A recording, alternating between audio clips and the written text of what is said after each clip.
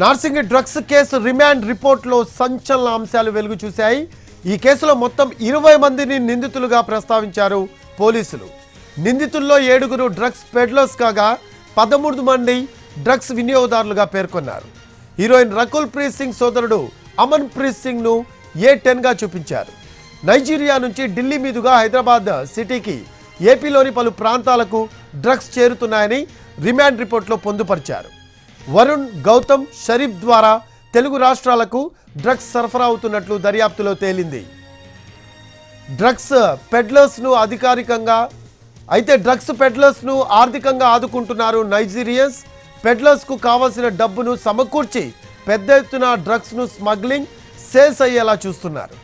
Drugs king పింగ్గా నైజీరియాకు చెందిన Ebuka కాగా గుర్తించారు. ఎబుకా నుంచి బ్లెస్సింగ్ అనే మరో నైజీరియన్ ద్వారా భారత్లోని పలు రాష్ట్రాలకు డ్రగ్స్ సప్లై అవుతోంది.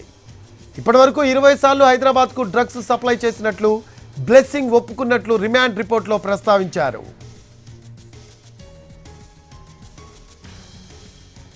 పెడ్లర్ గౌతమ్ హైదరాబాద్ రాజమండ్రి నగరాలతో పాటు ప్రకాశం జిల్లాకు డ్రగ్స్ సప్లై అవుతున్నట్లు నార్సింగి పోలీసులు గుర్తించారు. తొమ్మిది నెలల్లో పది లక్షల రూపాయలను కమిషన్ రూపంలో పెడ్లర్ గౌతమ్కు ఇచ్చాడు నైజీరియా హైదరాబాద్ బండ్లగూడలో ఉన్న లుంబిని కమ్యూనికేషన్స్ ద్వారా చెల్లింపులు జరిగాయి. వరుణ్ నుంచి రకుల్ ప్రీత్ సింగ్ సోదరుడు అమన్కు డ్రగ్స్ అందాయి.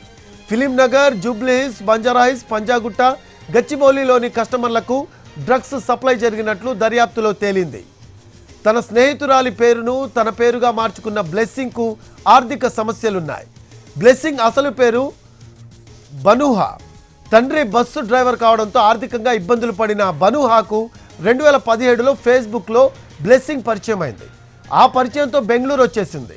బ్లెస్సింగ్ బట్టల దుకాణంలో పనిచేసిన బనుహా ఆ తర్వాత బ్లెస్సింగ్ పేరుతో డ్రగ్స్ సప్లై చేస్తోంది.